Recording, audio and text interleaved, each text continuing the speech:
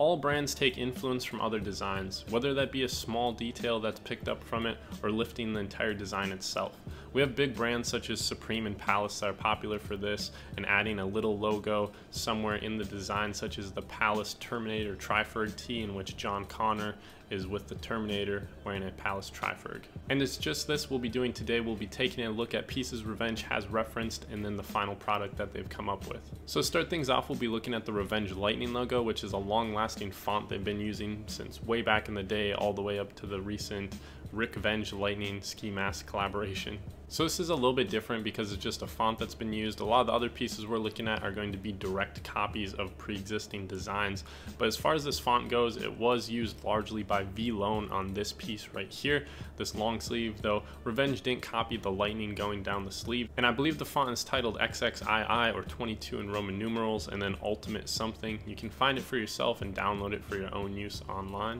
I personally don't see this as a huge reference and definitely not a huge ripoff, but since both brands are often seen in the same sphere or setting, I think that there was obviously some uh, insight taken from this Vlone design when Garette decided to use that lightning logo or come up with that lightning font. So next up we have the Revenge basketball jersey or the Raptors basketball jersey and this is actually the original right here.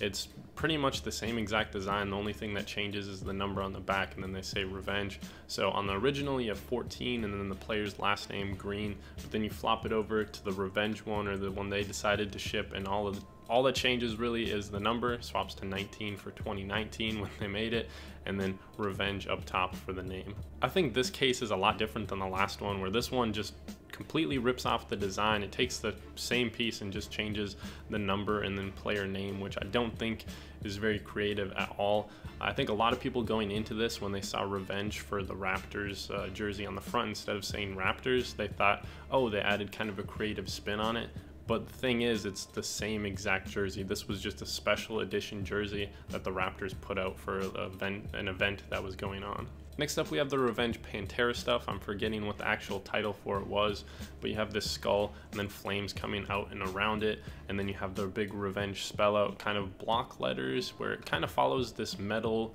um, styling for designs where you know you have uh, one big letter on the end and then another big letter on the end, but it's kind of throwing a wrench in it because they're block letters, whereas usually when this happens, they're kind of um, more freeform and stylistic, whereas this is a lot more kind of condensed and uh, neat, I suppose. So next we flop over to the Pantera Tour tee. I forget which tour this is for, but obviously the only thing that changes is Revenge to Pantera or Pantera to Revenge, however way you want to look at it. So this is kind of like a middle ground for the last two that we looked at. They are taking the majority of the design. You could argue they're taking the whole design, but at least they're changing a big portion of it. They're changing Pantera to Revenge, so I can at least appreciate that. But in my opinion, I, am just not crazy about this design. I don't really like the Pantera font that they use. I'm, I'm pretty sure Pantera pretty much stuck to that font for the life of their group and it's never really a font that I've been able to get behind, so uh, I'm not crazy about it. And then the skull also looks kind of weird. It's almost like grainy and just looks a little bit strange. I think overall, I would definitely give them a creative pass or, you know, acknowledge that this was done in a tasteful manner, though I don't think the outcome of it was really that appealing. Next up, we have a very recent design. This is the Mickey Cobain tee, which features Mickey Mouse dressed up as Kurt Cobain playing a guitar. So the inspiration or design for this one actually came from a brand called Number 9 which had a Mickey Mouse design seen here. Obviously the two are strikingly similar, only things that change are kind of the costume that Mickey is wearing and then the posture changes a little bit since the microphone is removed and both hands are placed on the guitar.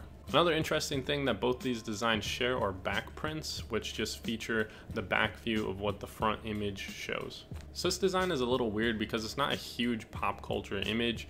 Like Disney wasn't really putting this out. This was number nine and Revenge obviously referenced it or, you know, arguably stole it, however you want to look at it. They did though add a fun twist on it, which I, I do appreciate to see. I just think in the end, the creative idea or approach that was executed on it just isn't that much like it's kind of lazy And I sound like a hypocrite because I did buy this, but I think a big thing with the Revenge uh, Mickey Cobain design is that it's not only just a Mickey Mouse design or Kurt Cobain design, but it has nods to a lot of their older pieces. We have the Don't Kill Your Friends tee, which featured an XXXTentacion version of Mickey Mouse, and then Revenge has also done Kurt Cobain designs in the past. So I think it's kind of a cool blending of that stuff, but at the end of the day, the design that they came up with, because it stole the number nine like image or like pose or whatever I, I, think it's it definitely takes away from it a little bit. Next up we have the Darkthrone work jacket i believe it is called. It is reference to a dark funeral piece so the naming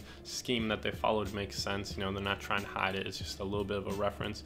And this piece is literally just an album artwork piece redone by one of revenge's artists and then thrown on a work jacket in an all over print. A tiny detail was changed, and that's the fact that the like cultists or whatever on the bottom of the jacket have revenge arc logos across their hood, which I don't really think is enough of a creative change to kind of warrant just a, a full-on copy of it. Though a lot of brands do this where they just take a pre-existing like pattern or all over print and put it on their piece. And I can kind of get behind this one because it wasn't just a straight ripoff. They actually did like their own painted version of it. So I think there were good intentions behind this and I can, you know, kind of give it my stamp of approval, though I wasn't really the biggest fan of the design at the end of the day.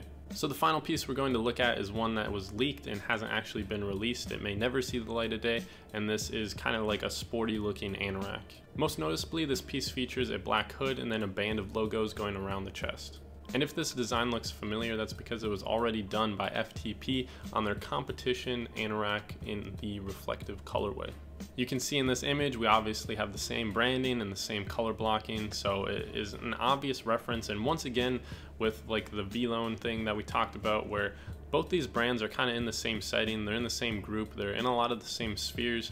This is even more so like tightly knit with Revenge. You know, these brands are both very similar. These uh, owners are very similar. These are two brands that get mentioned alongside each other very commonly. Being such a basic design though, it's hard to condemn somebody for this because it's just a color blocked hood or a different colored hood and then your branding going around the chest. So uh, it, it's hard to kind of like hate on this, but it, at the same time, it is such an obvious like kind of rip off of what another brand has already done. And there's such little effort gone into it that I, I really can't support it. So uh, this one does not get the, the check of approval for me.